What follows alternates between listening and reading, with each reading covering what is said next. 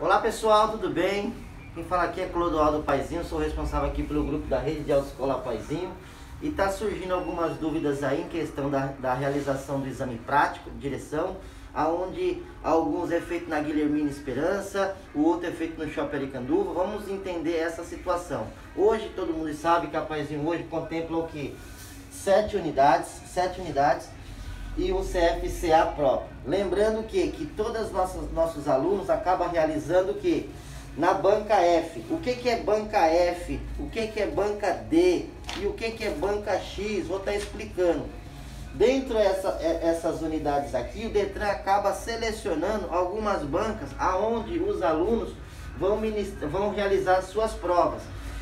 Todas as autoescolas aqui na, na região do Aricanduva acaba ficando na banca F, que é conhecido como banca lá no shopping Aricanduva, aonde a banca D fica na região do Guilhermina Esperança, aonde o Detran acaba distribuindo os alunos, não só da Paizinho, mas também de outras autoescolas aqui da região de São Paulo, para poder estar realizando o seu exame prático, para que não fique somente em uma banca, que hoje é a que tem mais alunos, é a banca F para poder distribuir.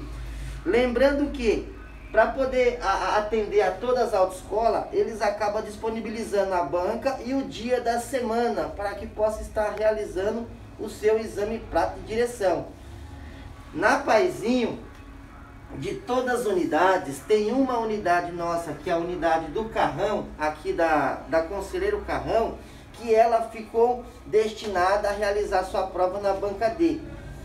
A pergunta é, por ser paizinho, todas não poderiam ser na banca F? Sim, o projeto inicial foi esse. Quando eu inaugurei a loja aqui no Carrão, foi bem numa fase aonde que o Shopping Aricanduva estava em manutenção, isso em 2019.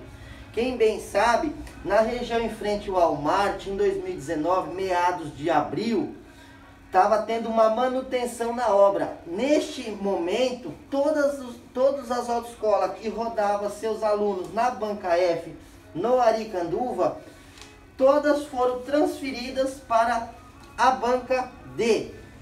Todos. Foi bem nesse momento aonde eu solicitei o meu credenciamento.